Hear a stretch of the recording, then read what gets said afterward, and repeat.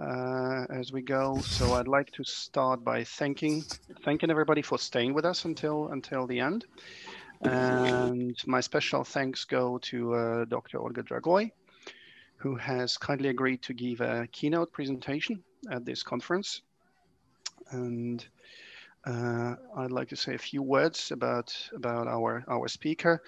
Uh, Olga, I think originally is a linguist or a, a philologist in, in, in, Russian terms, uh, with a background in theoretical linguistics and later in, in clinical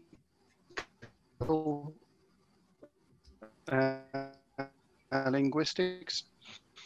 Uh, having done uh, basic education, receiving a master degree at Potsdam, uh, followed by a PhD or a candidate degree uh, back back at home. Uh, Dr. Dragoy on Literature Horizon was focused on aphasia, aphasiology, and specific deficits that aphasic um, people exhibit in terms of syntax and, and, and other properties. But what's what strikes me first about uh, Olga is uh, genuine keen interest to different sides of the language function. And we discussed so many different things and thought of so many different projects. And you've moved to other areas, not just the physiology, but also other areas, connectivity. This is something we are going to hear more about today. And Olga is very uh, successful uh, so to speak, young senior scientist. Uh, we're heading a big and successful center for brain, for language and brain at uh, Higher School of Economics. And today, uh, uh, she will speak to us about language pathways and white matter tracks in language processing. Thank you very much, Olga, and please, uh, the floor is yours. Thank you very much, Yuri, for such flattering introduction. I'm very happy that I finally managed to join you, uh, at least in this online uh, format. Um, I really hope that this year I would be able to come to St. Petersburg to meet all of you in person, but yeah, other forces um, interfered with my willings. Um, uh, I'm pleased and happy to share with you today um, um, my thoughts and um, kind of summary about the contemporary um, state of language anatomical models and uh, as well as to share with you uh, the recent findings coming from our own center. And um, as the title uh, states, I will talk today on uh, language white matter, of, about white matter pathways supporting uh, language as a higher cognitive function. And um, I would like to uh, start right away from uh, the focus of uh, my own view and the contemporary common view on language uh, which is considered as a network-based function. Um, and of course, uh, I would like to mention the classic anatomy of language, and not to show that um, broken dead, but uh, to probably revive the uh, forgotten notions the classics in, uh, introduced. Uh, so the, uh, as most of you know, the classic anatomy of language includes uh, several central notions, anatomical notions as the Broca, the Wernicke areas, and the link, the anatomical connection between them, which is the arcuate fasciculus.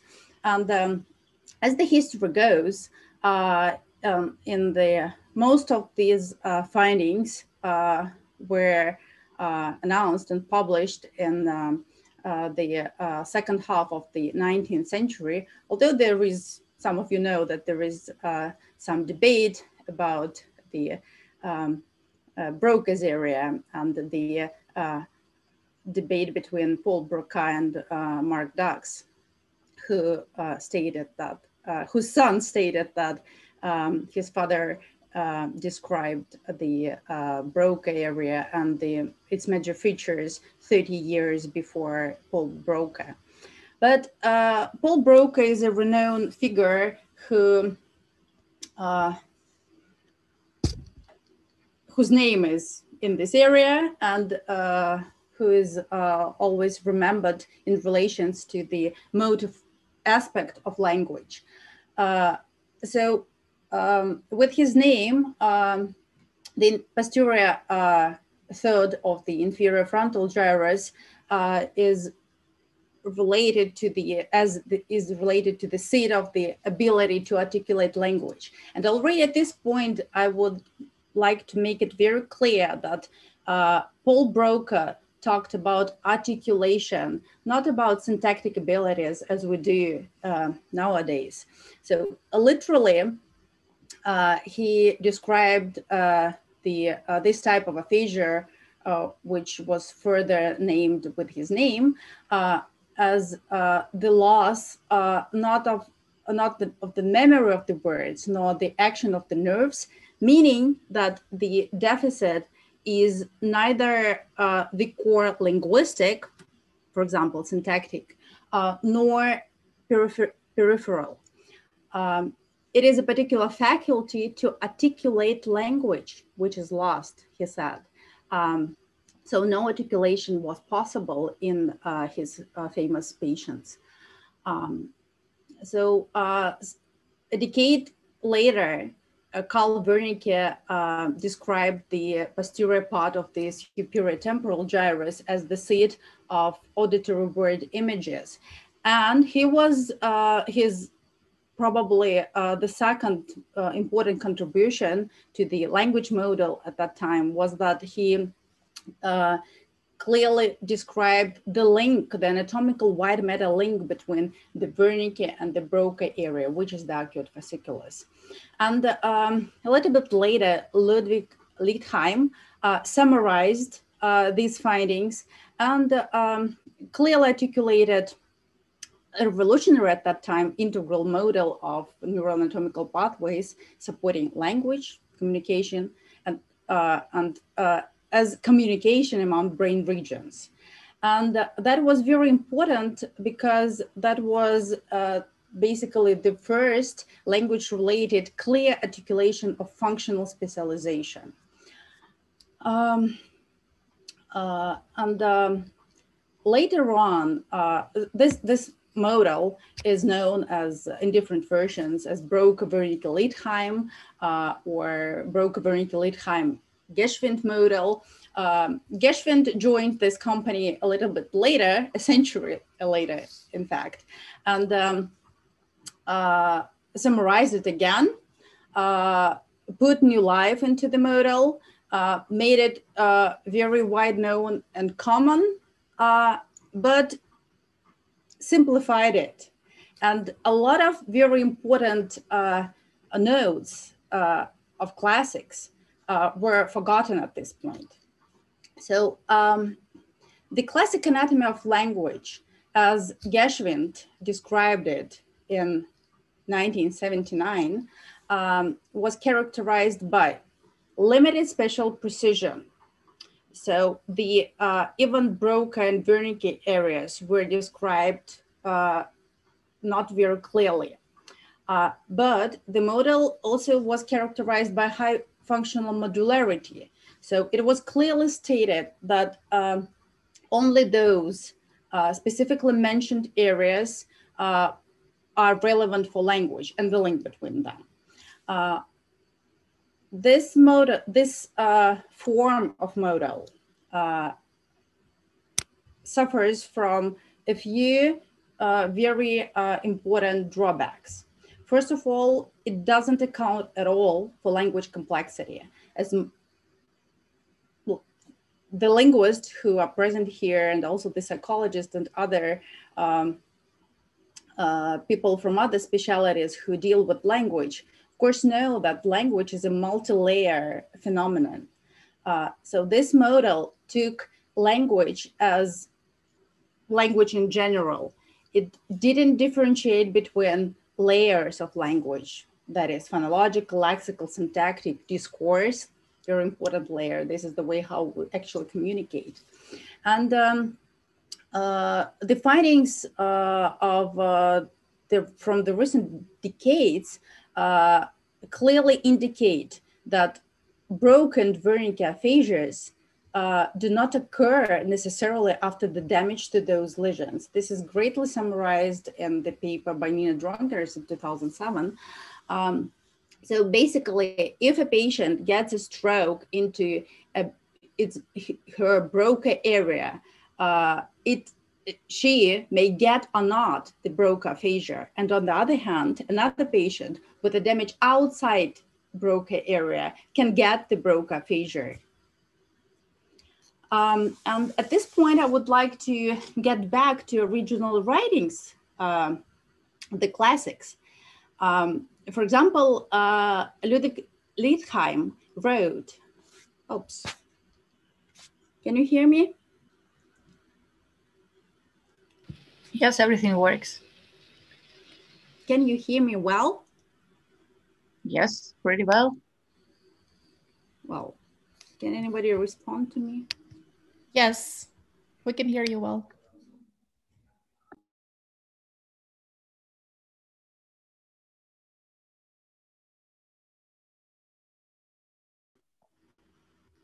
Anna, tell me if you can hear me.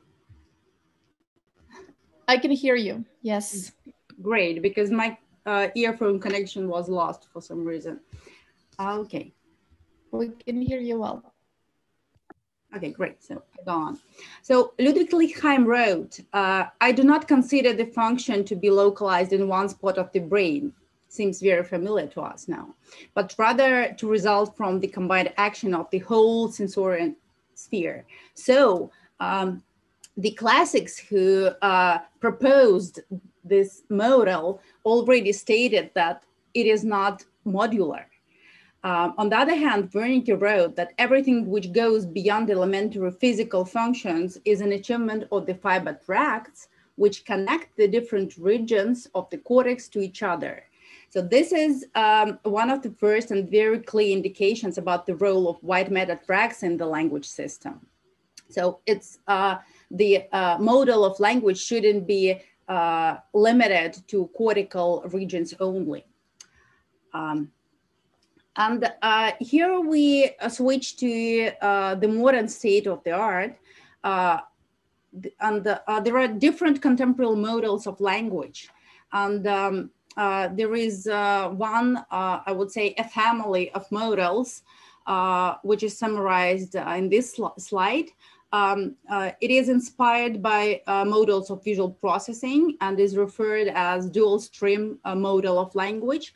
So similarly to visual processing, uh, in this model, uh, uh, the what stream and the how stream are stated and the, in, in the visual uh, domain, the what stream uh, supports feature and object recognition, and the how stream supports spatial localization for movement coordination. And um, uh, this metaphor and this philosophy is brought to the language domain. And uh, the dorsal stream, which is here in red, um, is stated to support uh, sensory motor integration and um, is stated to be involved and uh, supporting language production, first of all. And the ventral stream, um, which is here in blue, uh, uh is proposed uh, to support speech comprehension. And um, yeah, there, were there is a number of papers uh, um, describing this model. So this is um, a more detailed scheme of the dual stream model uh, of language.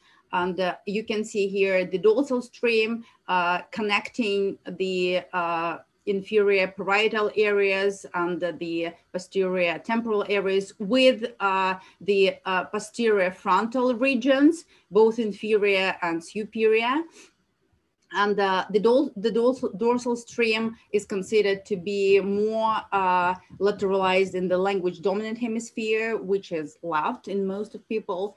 And the ventral stream um, is more bilaterally uh, organized and um, includes uh, um, acoustic processing, uh, sorry, uh, phonological processing, lexical retrieval, and uh, semantic processing. And um, uh, the ventral stream uh, is all also stated to be connected ventrally to the posterior inferior frontal gyrus. And um, yes, this is what I mentioned. So uh, in the ventral stream, um, uh, the authors included the following processing stages. So the superior temporal gyrus supports phonological processing, so acoustic and phonology. And the middle temporal gyrus and actually inferior uh, temporal gyrus supports lexical access.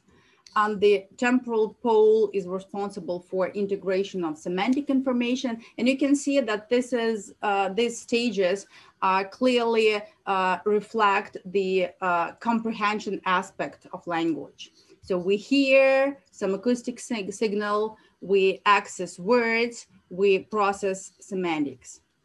And the, dors the dorsal stream, which is more left hemisphere lateralized, includes uh, sensory motor integration, and we'll, we'll discuss that a little bit in details further, um, uh, which uh, basically uh, takes place in the angular gyrus. And then the information goes to the inferior frontal gyrus, the insular cortex, which is hidden here in between the uh, frontal and temporal lobes and uh, premotor cortex, and uh, which supports articulation for language. Right. And um, just to mention that uh, both pathways are stated to interact with the distributed semantic network. I won't go in details uh, regarding this, but it, um, it is related to uh, the notion of distributed semantics, uh, which is uh, which basically uh, is linked to our sensorimotor um, behavior and experience. Uh, there are different, there is basically um, vast uh, evidence in favor of uh, this dual stream philosophy and dual stream model of language. And just to mention, there is a recent meta-analysis of 11,000 fMRI experiments, and where the authors um, uh, show uh, language-specific components uh, for the uh, audition, auditory, purely auditory task. And you can see here uh, that this task highlights and causes the activation in the, primarily in the temporal um, cortex bilaterally, clearly bilaterally, and equally bilaterally. Um, speech production uh, uh, uh, induces activation in the uh, uh, superior temporal gyrus and um, uh, posterior frontal lobe, both in, inferiorly and more superiorly. And it is bilateral, but we can see more activation in the left hemisphere. And the comprehension, which is um, a complex, actually language comprehension is a little bit more complex uh, in terms of linguistic components than just audition, uh, because it entails uh, both listening, uh, lexical access, comprehension of syntactic constructions, and uh, also um, activates some uh, frontal areas for because of syntactic processing, because of sensor motor integration and yeah, different kinds of motor stereotypes that can be induced uh, by this, the semantics of what we comprehend. Um, so, um, but uh, the uh, dual stream, uh, the family of dual stream models of language uh, are not uh, specific at all in terms of actual, actual anatomical pathways conveying this information and uh, supporting the interaction between these cortical regions which are in the model. And, uh, but other people thought about that. Um, and here we go to uh, the associative white matter tracts um, uh, of the brain, uh, which uh, are um, uh, just one category of uh, white matter pathways uh, existing in the brain. Uh, they connect cortical areas and also subcortical uh, gray matter nuclei within one hemisphere. so, which means, but we do not include corpus callosum here, for example. They provide long distance associations, meaning that they connect different lobes primarily. Of course, every uh, gyre, every gyrus uh, is uh, connected to the next one, and these are so-called U-shaped fibers. They are not associated white matter tracts. And um, this, uh, this kind of white matter tracts are now uh, considered as central elements uh, in contemporary models of different, in fact, high cortical functions, including language. And this is what we're going to discuss today. So um, getting closer to language pathways, which you basically saw in this slide. Um, so what I'm going to um, overview today is the arcuate fasciculus, which is already familiar to you, uh, providing sensory motor integration and in particular phonological processing. It is here in red with its uh, three segments. Uh, the frontal aslant tract, which is here in purple, supporting speech initiative and spontaneity. The inferior frontal occipital tract in purple, uh, supporting semantic processing. And uh, another system of uh, ventral associative white matter tracts, the inferior longitudinal fasciculus in orange, uh, which is more involved in lexical interface and the uncinate fasciculus, which is um, uh, which function uh, is still difficult to tell for the moment, but it is believed to be involved uh, to some aspects of semantic processing. So arcuate fasciculus, and you can see already here that it's multicolored and here is um, how we depict it. This is a convention. So um, historically, as I mentioned already, the uh, arcuate fasciculus is a central language pathway. Um, and uh, it has um, three uh, uh major uh, areas of termination, which is uh, which are the posterior inferior frontal uh, cortex, the inferior parietal cortex, and the posterior superior temporal cortex. Please pay attention that that's already much more than just Broca Wernicke areas. In particular, you can see here that uh, two segments of the arcuate fasciculus uh, considerably terminate in the so-called Geschwind area, which is superior uh, temporal, inferior parietal. Um, and um, as I already introduced, uh, one of the uh, commonly accepted model uh, states that uh, the arcuate fasciculus has three major segments, the long, the direct segment, which is here in red, and you can see it here. Uh, and um, with the terminations in the posterior primarily inferior frontal gyrus, but also uh, some authors uh, state that it terminates in the posterior middle temporal gyrus. And um, the temporal terminations include uh, primarily uh, posterior middle and inferior temporal gyrus. And again, please pay attention that this is not the classic Wernicke area. The Wernicke area is here in the superior temporal gyrus. And in, uh, in my lab, we do a lot of uh, tractography reconstructions, and we, very rarely we see uh, the terminations of the arcuate fasciculus in the superior uh, temporal gyrus. And um, in the, mo the model also includes uh, two other short indirect segments of the arcuate fasciculus, the anterior one, which is here in green, um, connecting the like the Broca territory, the uh, posterior inferior frontal gyrus, and the Geschwind area, which I uh, already mentioned. And the second uh, indirect segment is the posterior one, connecting uh, the same area where the uh, long uh, segment terminates and the posterior part of the Geschwind territory. And here, how they come together.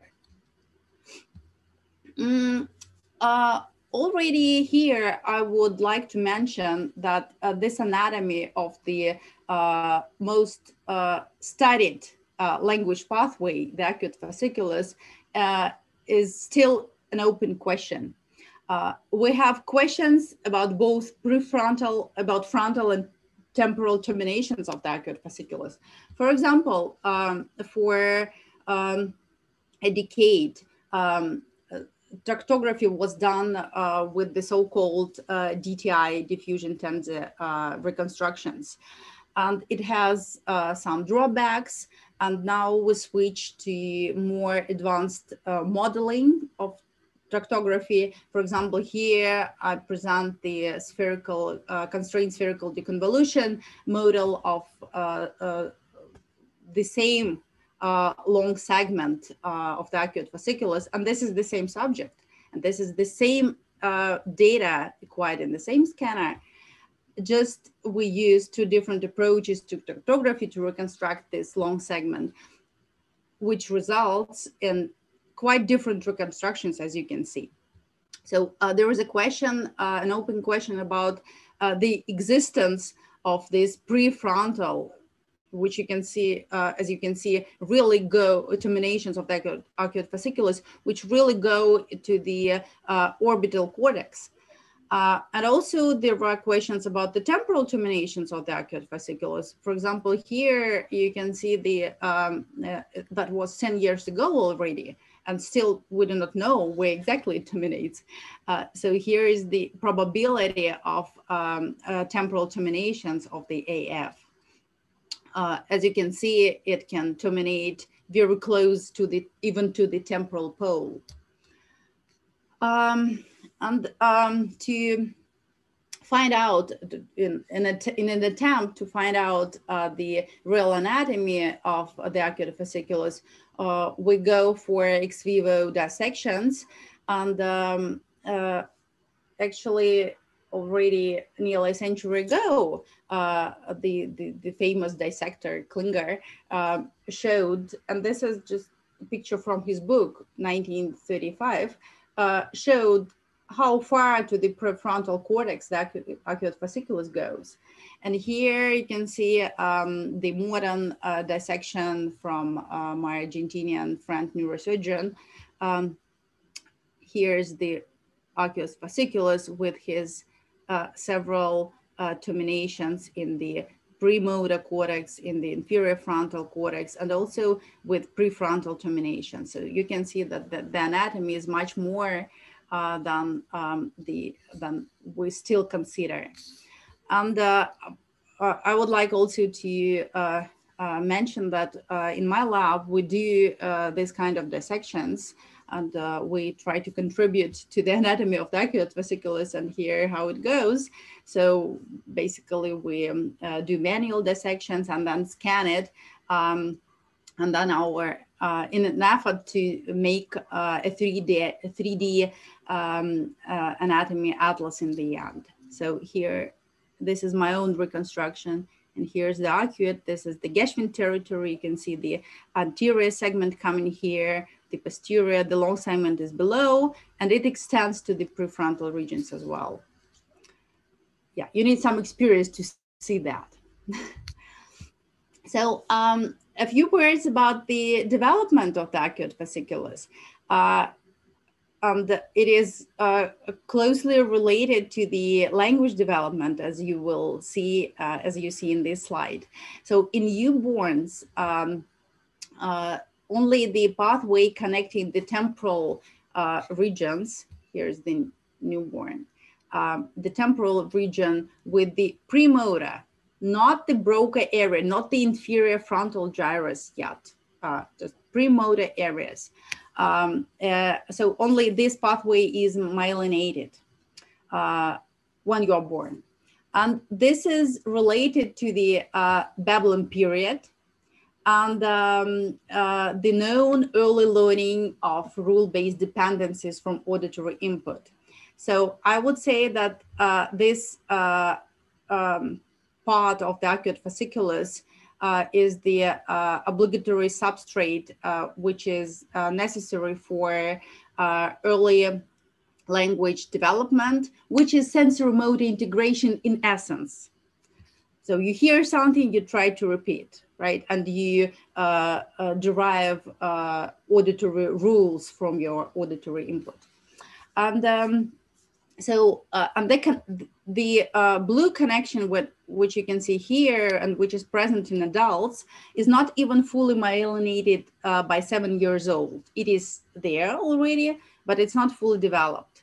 And um, so um, there is, um, there are two uh, sources of evidence uh, suggesting that uh, this blue part uh, of the arcuate fasciculus is uh, constitutes and supports the uh, fully fledged language, which we practice now, for example.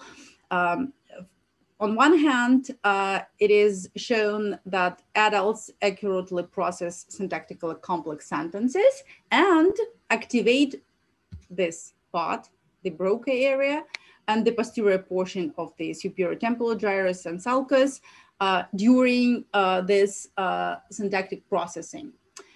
And on the other hand, children under the age of seven do not process always correctly uh, complex sentences. And this part of the arcuate, fasciculus, as I mentioned, is not uh, fully myel myelinated yet. Uh, right. Um, there is um, an interesting aspect of the arcuate fasciculus, which is its lateralization. Um, so we'll uh, talk now, we'll focus now on the long segment of the arcuate fasciculus. So there is uh, the overall uh, prevalence of uh, asymmetric distribution uh, of the direct segment of the AF. So it's um, uh, in most people, it's strongly left lateralized. And this is uh, the seminal paper by Marco Catani, uh, who uh, was the first uh, showing um, what kind of distribution uh, there is in a human population regarding lateralization of the long segment of the arcuate. So 62 and a half percent of uh, his group had um, the long segment of the fasciculus only in the left hemisphere. Now we know that 13 years later that uh, this result is uh, partially uh, a drawback of the um, uh, DTI reconstructions they used at that time.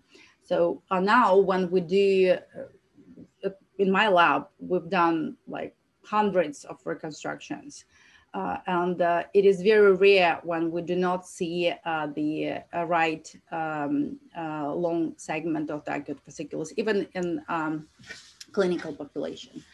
Um, so this picture basically means that uh, there is strong left lateralization in most of the people, but it doesn't mean that there is nothing here in the long segment on the right. It just means that it's very thin and some um, uh, tractography model doesn't allow to reconstruct it. So then uh, there are two nearly equal groups uh, with uh, the uh, bilateral but uh, still left lateralized long segment and a symmetrical bilateral representation of it. Um, and um, this study was done in um, 40 right-handed individuals. Uh, later on, uh, the, this basically the same result uh, was um, uh, was got and uh, people with both uh, right-handed preference and with atypical handedness, ambidextrous or left-handed. And you can see here that it, it constitutes, this is the absolute numbers. So but basically this is 81% of right-handed, um, the same number of people with atypical handedness still have uh, strong uh, left lateralization of the long segment of the arcuate. And um, uh, importantly, it has been shown that uh, there is uh, a significant correlation uh, of the lateralization of the arcuate fasciculus, the long segment, with language performance. Uh, for example, the, the, same study showed that um, higher left lateralization of the arcuate fasciculus correlates with better vocabulary and complex ideation performance. Complex ideation is, uh, is um, a subtest of uh, a diagnostic test. This is basically comprehension of uh, complex sentences. In atypical handed people, and it is correlated with better semantic fluency uh, in right-handed people. So um, uh, this cohort is healthy people, but still uh, language performance is variable in healthy people uh, as well as in the clinical population, uh, not that drastically, but still. Um, and um, uh, the lateralization of the arcuate fasciculus predicts uh, the language performance. Um, the clinical data uh, sheds some more light on functional specificity of the arcuate fasciculus. Uh, so the story started with uh, uh, the acknowledgement of a general contribution of the arcuate fasciculus for language, like again, language in general, to different aspects of language. Uh, for example, um, in this study, uh, it has been shown that uh, it is the arcuate fasciculus lesion load. These are stroke patients. Um, the arcuate fasciculus lesion load size significantly predicts rate informativeness and overall efficiency of speech, as well as naming abilities. So all kinds of language aspect measures in this study. Uh, you can see it clearly here. So this is the AF lesion load. So 100% means 100 of fasciculus, uh, arcuate fasciculus uh, lesioned. And here you can see the words per minute. And um, uh, information units uh, per minute, produced per minute. Um, and uh, both metrics are reduced the more the larger acute, arcuate fasciculus is lesioned. Um, on the other hand, um, here's going more to the specificity of the arcuate fasciculus. It has been shown that uh, it is um, the AF focal lesions, so lesions exactly to the arcuate fasciculus, in, uh, correlate with selective difficulties in repeating heard words, but uh, do not correlate uh, with word comprehension, picture naming, and verbal fluency. Uh, and uh, this behavioral linguistic pattern is representative for the conduction of aphasia. And here you can see uh, where exactly the um, lesion was in this cohort of uh, patients.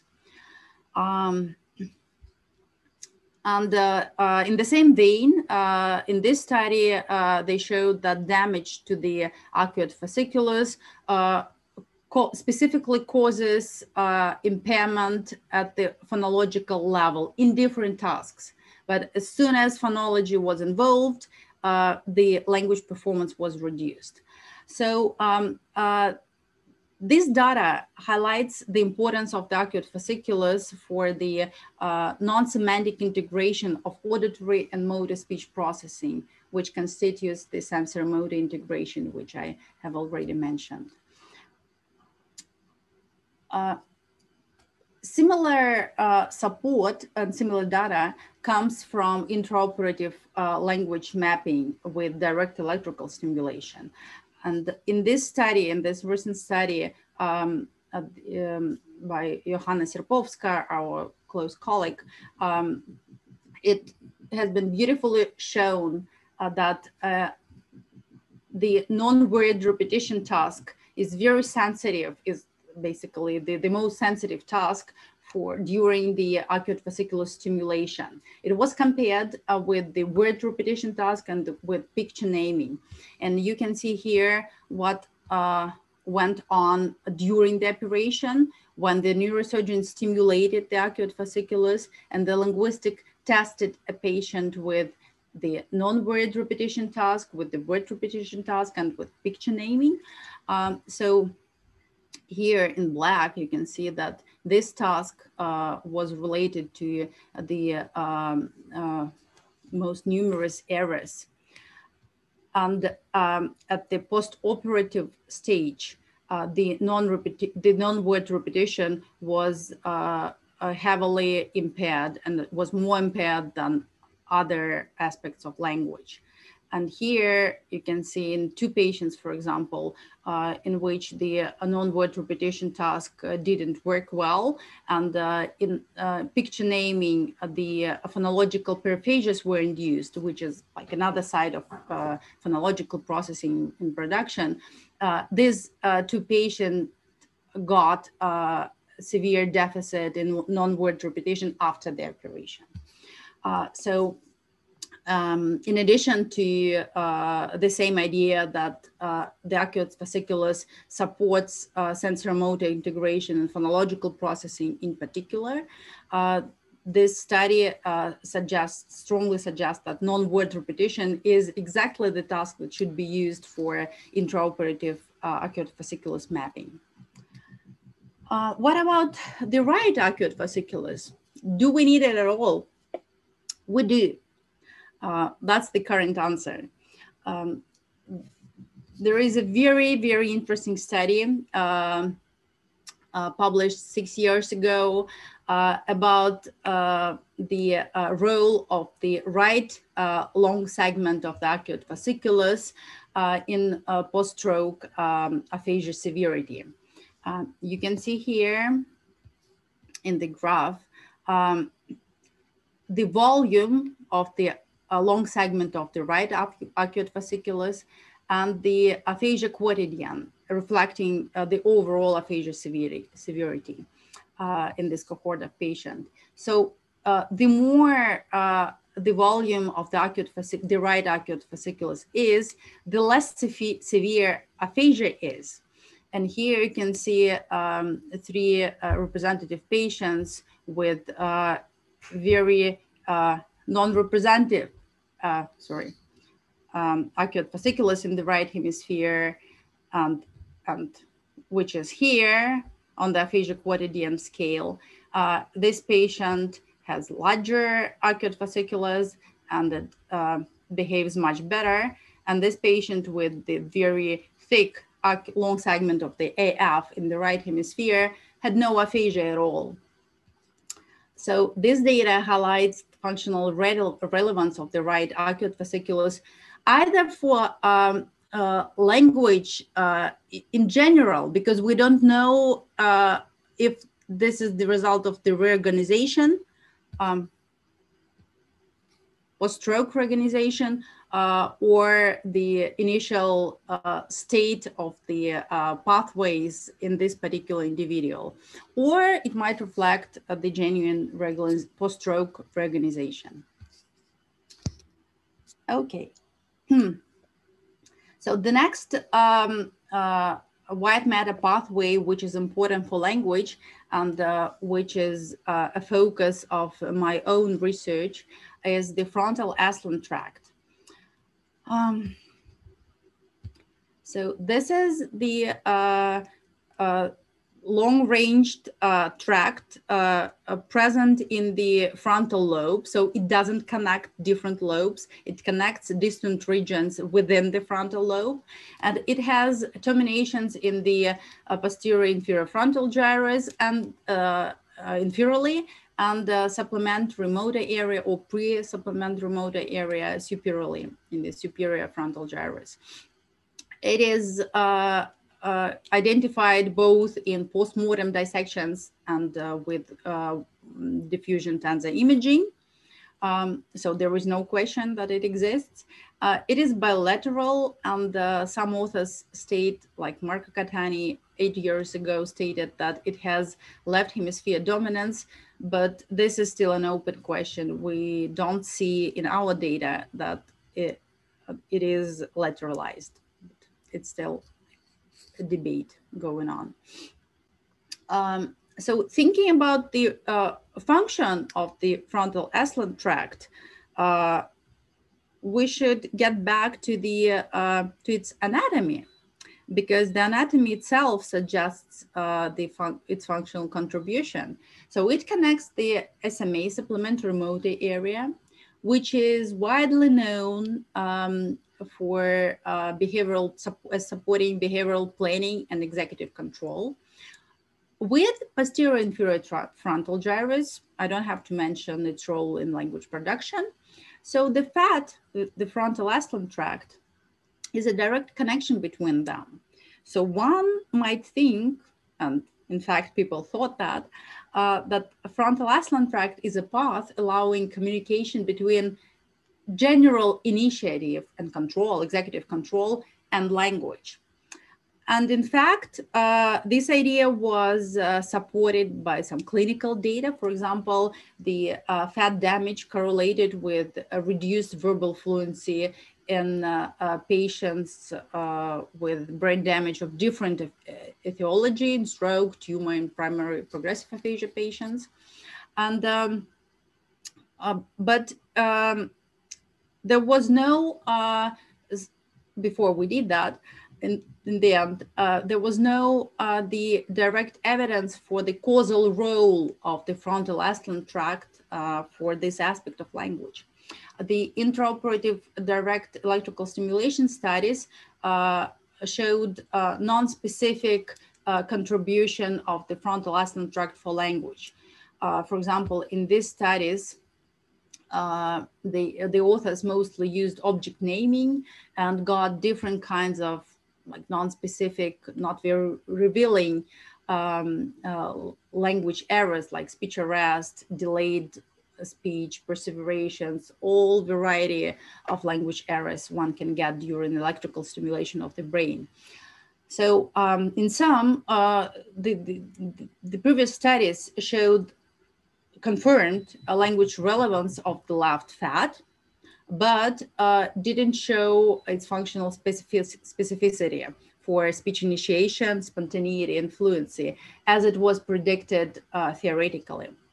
So we decided to test that carefully and uh, thought that um, sentence completion could be a very good task to tap into the function of the frontal ascending tract um, for the following reasons. Um, so it, when you comprehend uh, the beginning of the sentence, the context, uh, and have to complete the sentence with a word or two, um, you do active syntactic sequences and context relevant lexical search. And this is like a, a true initiation of uh, real propositional language. It is not the fully fledged language as I do now, but kind of uh, spontaneous language in miniature. Um, and uh, from um, uh, physiology, we know that it is exactly the inability to build a complete sentence, uh, which is a core symptom of the so-called dynamic aphasia related to the frontal lobe uh, damage.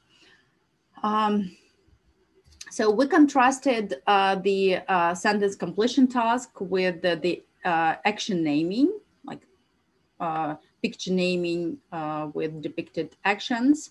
And we had 12 neurosurgery cases with the pathology adjacent to the frontal ascending tract, which, which we checked uh, on their individual tractography reconstructions.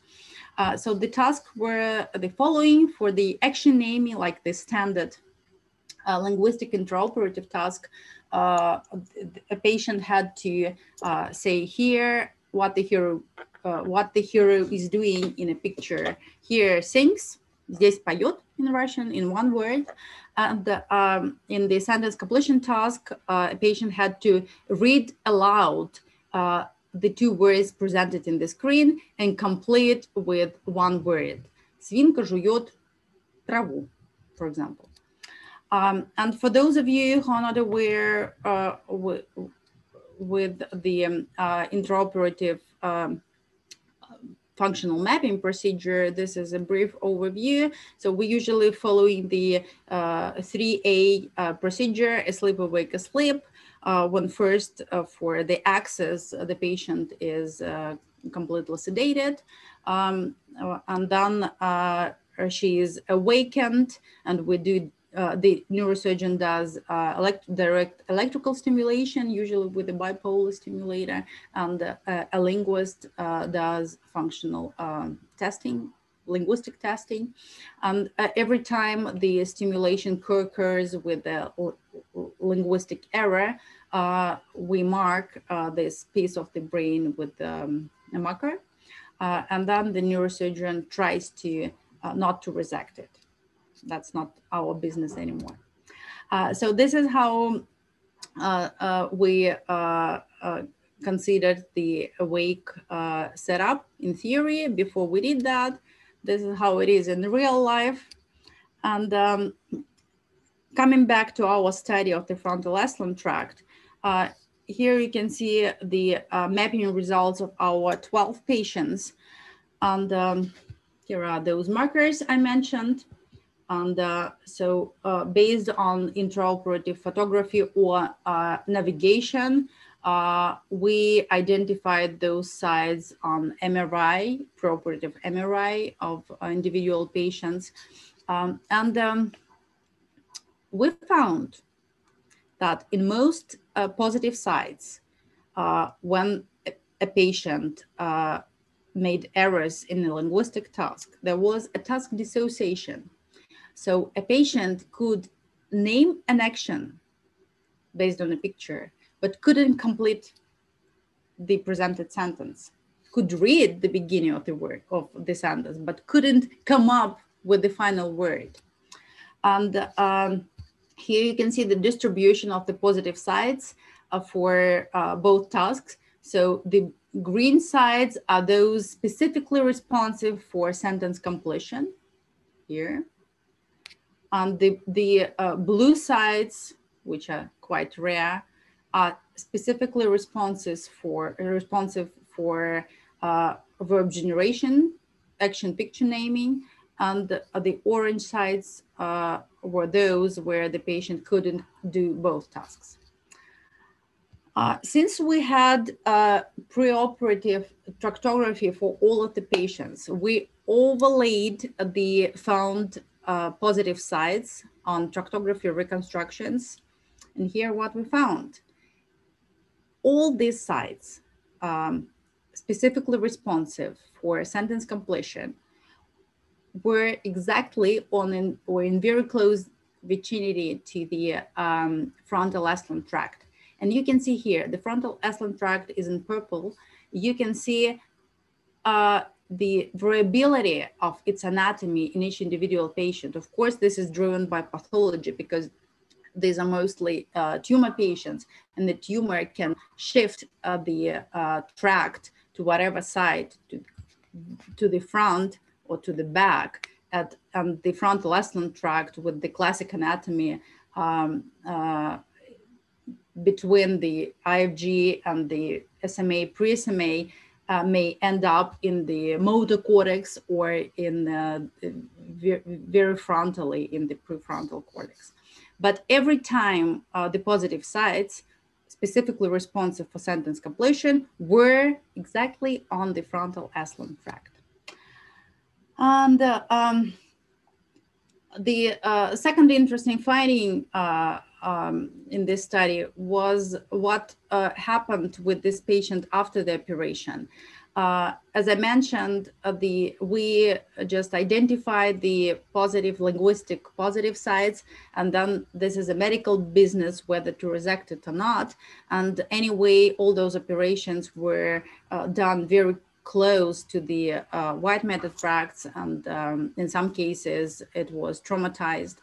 Um, so uh, some patients, uh, namely half of them, got um, uh, got some uh, uh, deterioration um, of the of some aspects of language, and when they got it, it, that was every time the discourse level, the level of spontaneous speech, and uh, most of the patients recovered three, six months uh, uh, after the operation.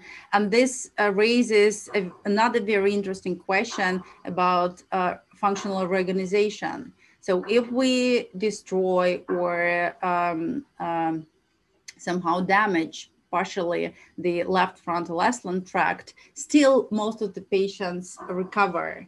So what happens? Uh, does the right frontal aslant tract uh, take over uh, or there, there are some other uh, processes going on uh, ipsilaterally?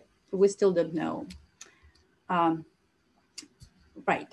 So um, for the sake, sake of the time, I will uh, move further to um, the ventral uh, language pathways, which are um, inferior frontal occipital fasciculus here, the inferior longitudinal fasciculus and the uncinate. And um, some years back, uh, the, uh, the, the, actually the uh, father of the still living father of uh, awake craniotomies, the um, uh, French neurosurgeon Hugues Duffau proposed that uh, these three tracts constitute um, two semantic pathways for language, the direct with the uh, inferior frontal occipital and the indirect, because there is a switch here in the temporal pole with the inferior longitudinal and the uncinate fasciculus. So let's consider their specific functions. So the inferior frontal occipital fasciculus uh, connects uh, the occipital cortex uh, and the uh, frontal or the orbitofrontal cortex. Uh, it is, as all basically all associative tracts, it is represented bilaterally and um, mm, as far as I know, uh, there is no uh, statement at the moment that it is left or right lateralized. And the electrical stimulation during uh, awake craniotomies induces uh, semantic paraphasias, meaning that instead of one word like cat, uh, a patient produces uh, another word, either semantically related or closely semantically related or distantly. So it can be dog or, I don't know, sofa. Uh, uh, and um, its damage uh, due to a stroke or uh, neurosurgical resection leads to the impairment of semantic processing and it is expressed both in comprehension and production. So this is why this pathway is proposed as the uh, semantic pathway for language in general. Uh, the uh, indirect semantic pathway uh, proposed by Hugues Duffau includes uh, the inferior longitudinal fasciculus and the uncinate fasciculus. And uh, the ILAF has basically the same terminations in the occipital pole as the IFOF.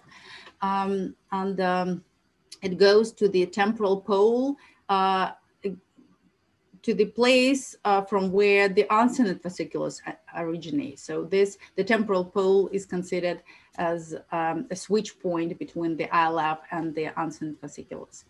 Um, both tracts uh, um, are represented bilaterally too as the IFOF, although for the ILAF there is uh, an open debate uh, whether it's uh, still left lateralized uh, or right lateralized. And you can see uh, there's two different opinions in the, these two papers mentioned.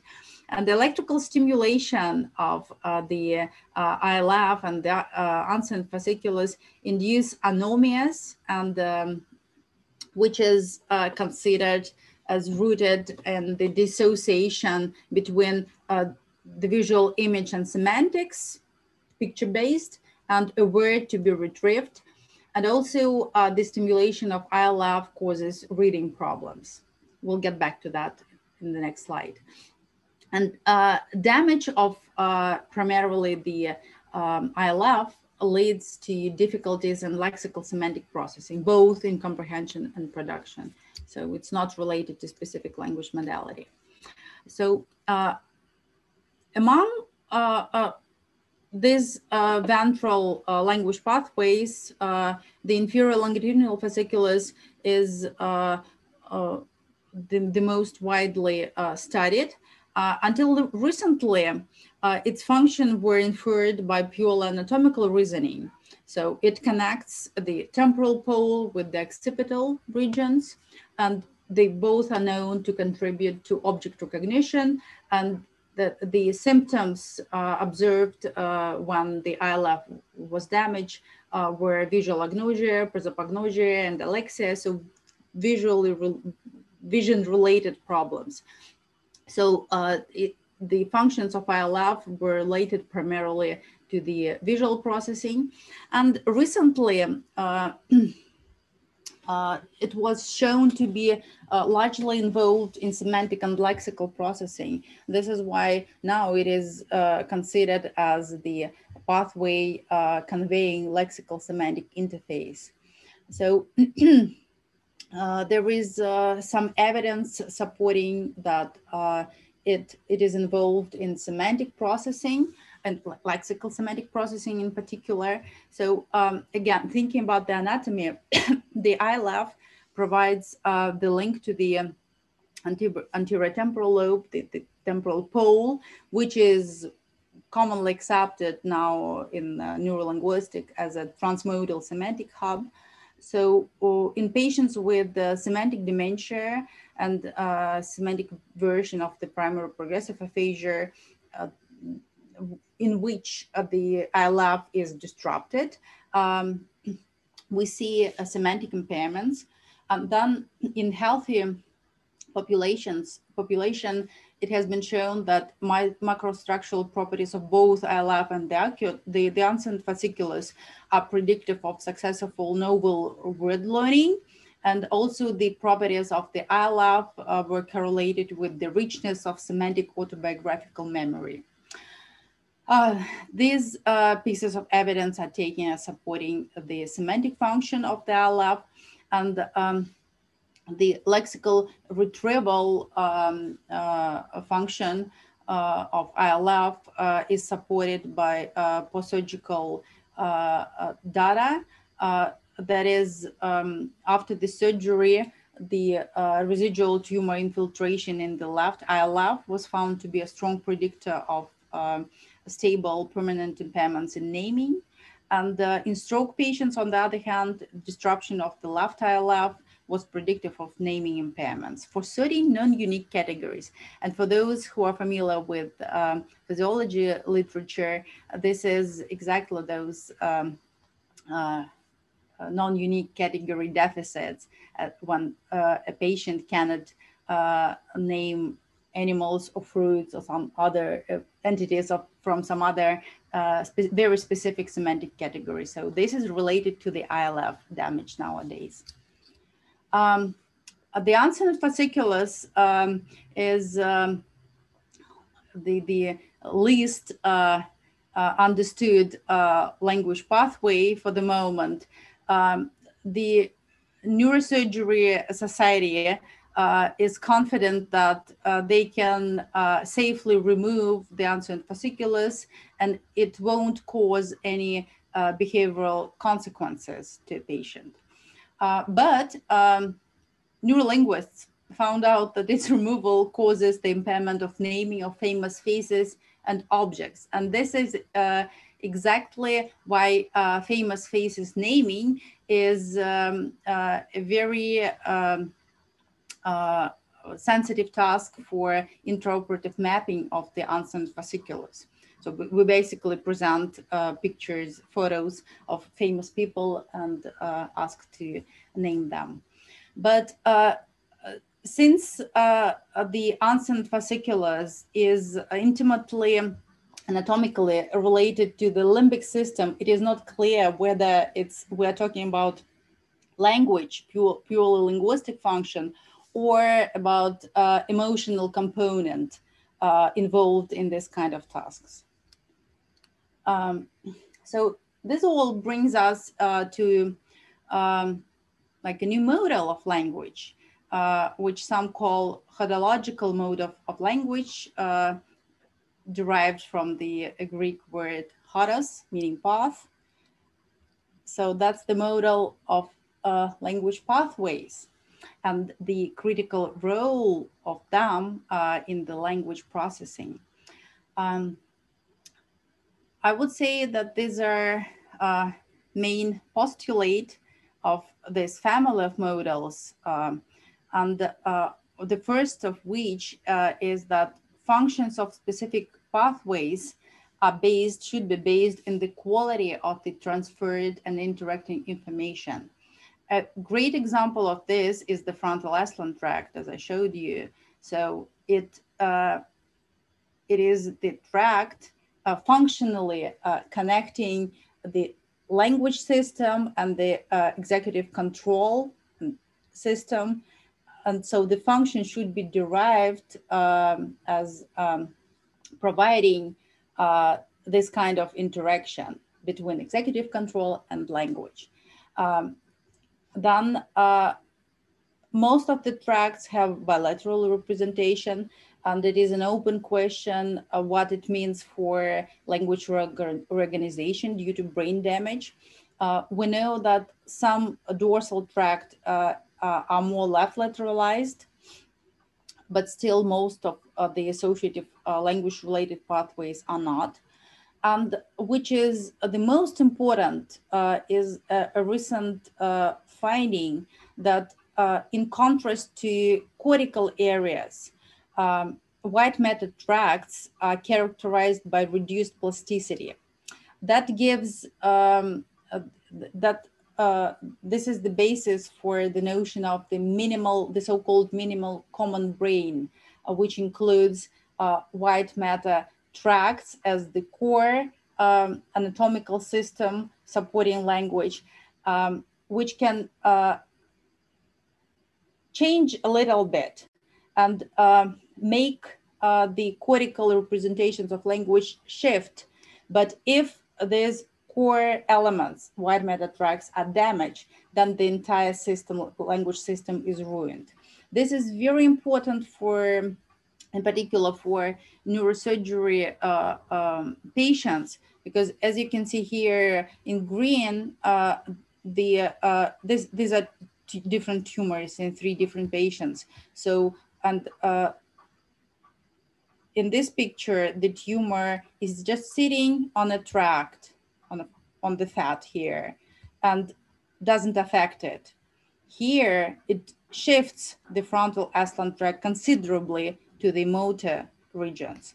And here you can see a very huge tumor which shifts all the tracts, but still the tracts are not damaged. So they are shifted the cortical representations are shifted.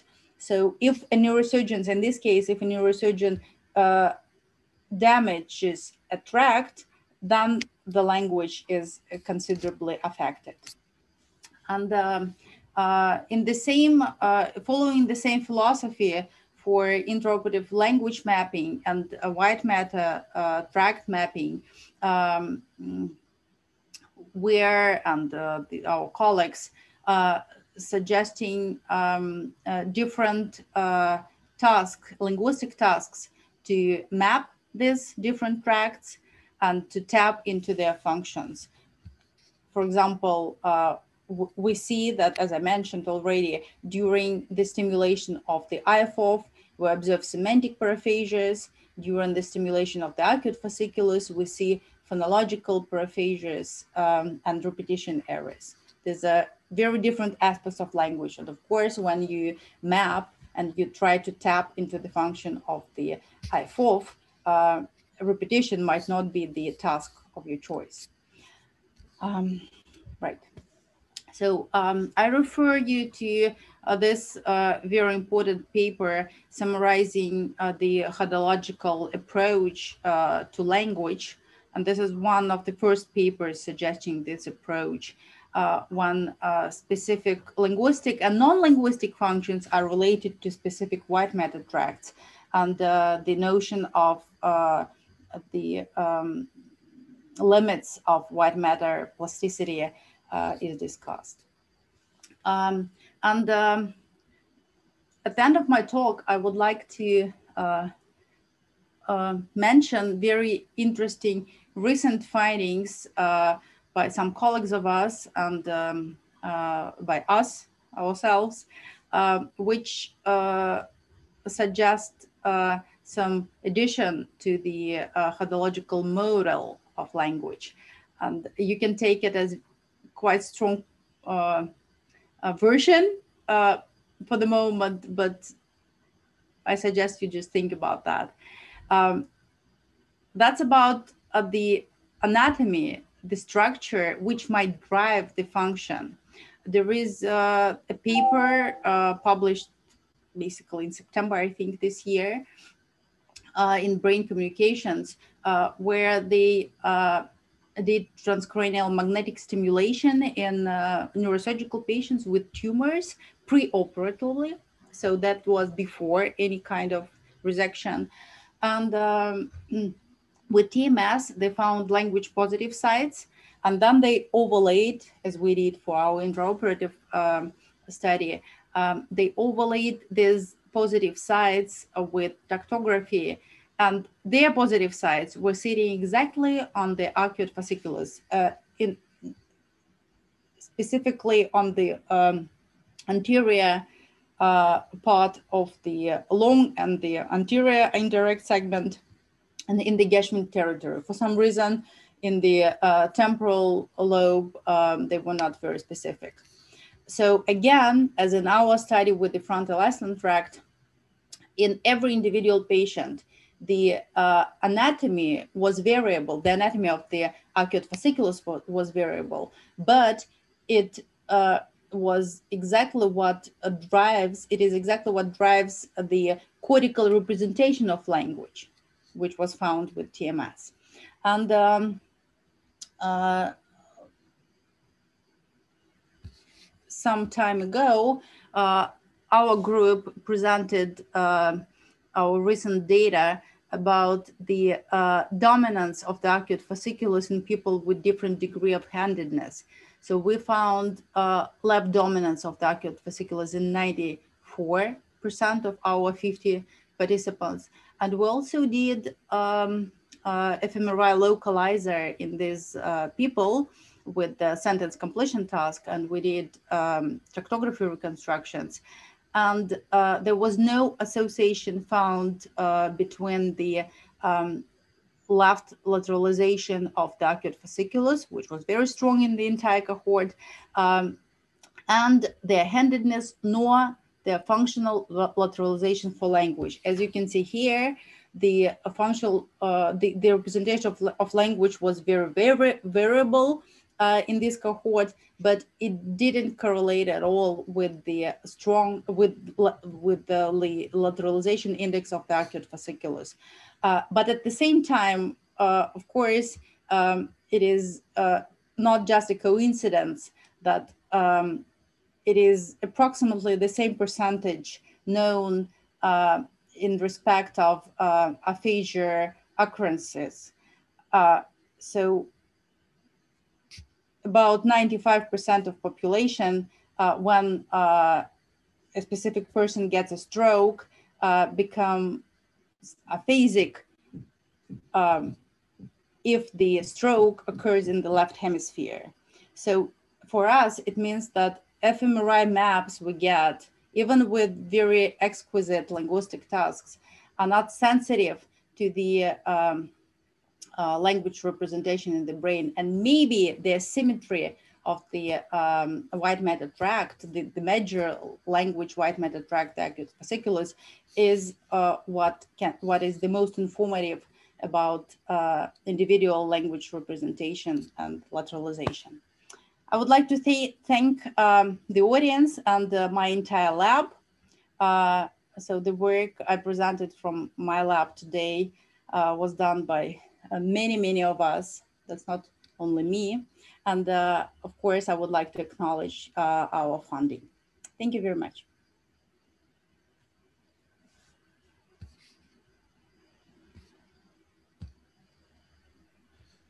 Right.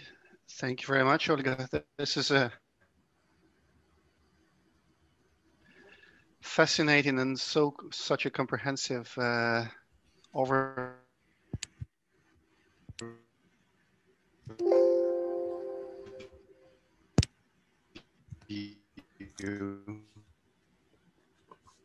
I can't hear you well, Yuri. Um, really, really nice. You can start by asking. Uh, uh, just a second. Now, did, did you not hear me at all? Yeah, it's better now. Oh, Now Yeah, it is better, but it used to be pretty bad. Maybe you can right. Yeah, I, camera yeah, I started by thanking you for a comprehensive and fascinating overview of, of different data. That's really great. I'm really, I'm really uh, thankful for this. Uh, maybe I could start with a basic question. Uh, like there was at the time of the original uh, Catani and, and others' work, um, uh, some 15 years ago, there was a lot of talk about uh, differences between male and female brains in terms of uh, arcuate uh, laterality and uh, cross-hemispheric connectivity. Uh, has I think this was sort of put into uh, it was question since. What do you know about that, or is, has there been any any more research? I know that further studies uh, made with uh, hundreds of participants uh, did not confirm that. Right. So basically, this was a false uh, false finding. Right. I th- okay. Uh, there is a question from uh, from Anna. Anna, please go ahead. Anna Krabas. Um, thank you so much for this um, very interesting overview. I have a couple of questions. Maybe I can ask one first and then another. Okay, go ahead. so um, the first question concerns the arcuate uh, fasciculus data. So usually we talk about arcuate fasciculus as connecting and transferring information from the temporal lobe to the frontal areas, but the data on the, that you showed on focal uh, stimulation of the arcuate fasciculus and uh, its uh, potential involvement in uh, well the consequences of like the damage to the arcuate fasciculus for the conduction aphasia suggest that there is not only some like transfer from the temporal lobes to the frontal lobes but there could be some bidirectional flow of information because in order to repeat a word for example for somebody with a conduction aphasia you have to not only rely on the feed forward mechanisms but also on the feedback mechanisms right? You have to keep the target the sensory target in mind that you're like trying to repeat um, and um, so like, try to emulate it right? So that requires some like uh, feedback processing. So like i don't know data on that. Is there do you have anything like is it like does uh, the flow only proceed in one direction from temporal to frontal uh, lobe with terminations in the frontal lobe or is it possible for the bidirectional transfer of information Mhm. Um, I believe that, and I guess uh, most of the researchers working in this field believe it, that it's bidirectional. Um, maybe to be on the safe side because we, we cannot tell, we cannot be sure, um, or because most of the process processes in the brain are bidirectional, multidirectional, and um, and of course these uh, large uh, pathways include axons going uh, in different in both directions right? So it can i don't believe that's unidirectional. But Mhm. on the other hand um, i'm not aware of uh, an intraoperative study um, uh, supporting one view or the other and i can imagine that it could be very difficult to design one Mhm. right Yeah. Yeah, and actually, so my second question relates to that. If like if I can ask it later if other people Yeah, want go to ahead. go yeah, ahead just and go ahead.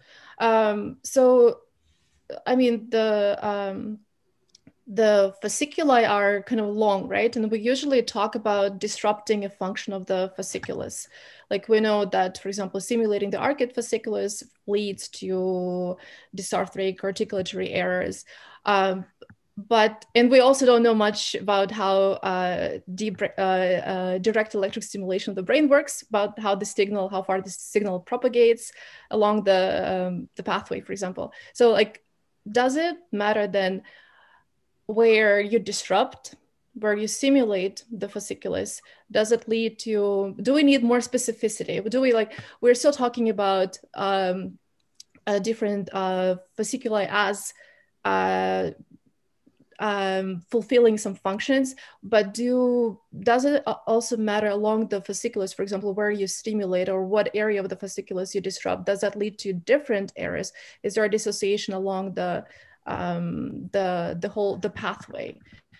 Um, is it legitimate to talk about just like one them as serving one function? Maybe if you stimulate closer to the, uh, for example, if you take our, our um, fasciculus and stimulate closer to the frontal areas, that will result in um, speech errors or articulatory errors. However, if you stimulate it or disrupt it closer to the temporal lobe, that's going to lead to different kinds of errors.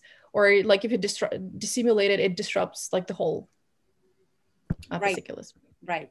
So this is exactly the view um, of uh, people who really work in the field. Uh, of course, what I overviewed today is great simplification. This is basically similar, similar to how Broca and Wernicke described their language model. Of course, every uh, associative white matter tract I mentioned today uh, consists of uh, subcomponents, anatomical subcomponents, connecting different regions within those huge cortical areas. And um, it might i would even start with asking uh, how these subcomponents of each tract are related to specific subfunction mm-hmm. of the huge function we're discussing right. Um, because at different uh, points of the huge associative tract there could be different components coming yeah. to the surface and ready for stimulation and we know that uh, arcuate fasciculus, um, uh, at least the, the contemporary model of the arcuate fasciculus already incorporates uh, different segments. The ILF, uh, actually there are different uh, proposals for the subcomponents of ILF, which you know that in our lab we for, for long we considered as a uh, um, unitary tract. Now mm-hmm. people um, see uh, up to five subcomponents in the ILF only. Mm-hmm. And this uh, about the frontal aslant tract, we know the proposal by Mark Catani about three branches of it to mm-hmm. the coming to the premotor, SMA, and pre-SMA, conducting very different functions, starting from core linguistic uh, okay. and finishing with very, very motor peripheral. Okay, that's great. Since I don't do um, tractography, I was like wondering if people are, have started to dissociate right. uh, different this regions. This is very fresh and recent, and this gotcha. is what we're trying to do. Mm-hmm. Well, thank you very much. Thank you, Anna. Right. Any other questions, please? Raise your hand or just speak up. Uh, if you need more time to make up your, your questions. Uh, I can ask another one uh, about the evolution of the tracts. There has been a lot of discussion of the arcuate fascicle being the most uh, sort of a hallmark of language evolution in a way, right? So it it it it's it it's uh, considerably differs between uh, even our closest ape relatives and, and us. What about the other key tracts that you listed? what do we know about the evolution, how whether they can be seen as correlating with language function anyway, or are they more conservative? Um, yes, this is uh, uh, a developing enterprise. Uh, the comparison of um, human uh, language-related white matter tracks with uh, what our uh, what primates have, and um, so it is not even clear about the arcuate fasciculus uh, not even to go for other tracts. Um, because uh, as in newborns, the um, like what remains the arcuate fasciculus in primates is not uh, fully myelinated or is not as myelinated as uh, in us, human adults. Um, and uh, uh, so I wouldn't say that uh, we're ready to seriously discuss other something other than the arcuate fasciculus for the moment. People try to do uh, such comparisons, but well, right. I don't well, think that we can work, yeah. reconstruct. We can reconstruct um, the previous state um, of our hodological language model. Right. Thank you. Anyone else? Hmm. Been quiet. I have to say this was extremely clear, and also uh, novel to uh, large parts of the audience. I suspect. Uh, I can see Olga has switched on her camera. Uh, do you have a question? No. No, no, just No. just switching on. Just want to say that really uh, can confirm Yuri's words that it was excellent and very clear and very unique.